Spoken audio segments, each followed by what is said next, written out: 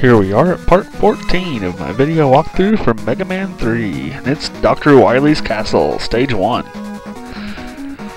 Again, I have to ask, where does Dr. Wily get the money for all this stuff? I mean, really, this is a pretty extravagant looking castle here. Oh well. Alright, go search Snake. I didn't like how I managed to drag those ones all the way over.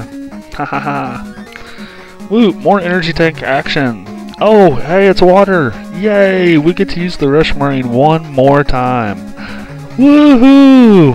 Yay! it's Rush Marine. Well, wasn't that fun. Um, I don't think that one up right there is worth the two hard knuckles, so. But all this stuff definitely is. Now in order to get up to the very, very top though, we're going to need to use the rush jet. So we can just slide ourselves up.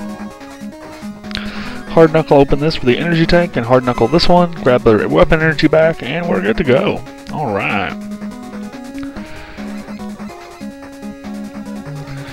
Alright, it's more ball throwing enemy. Whee!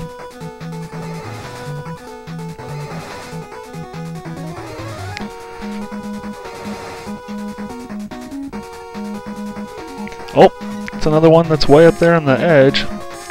Aw. Take that!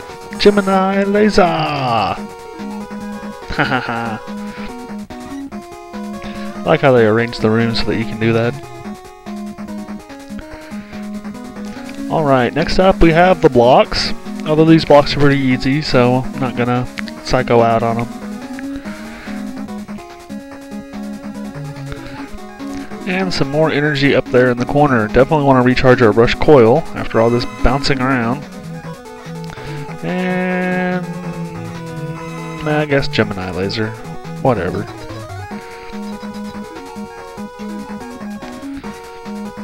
And we're gonna need some Shadow Blade. It's, remember the room? it's kind of like that, only a little different. It's the turtle bomb thing creator. You just have to kill the little turtles that it shoots out. Shadow Blade works pretty good. If the they bounce around enough, they'll knock their shells off and they'll explode. And they get faster every time we kill one. Oh. And yeah, that's pretty much it.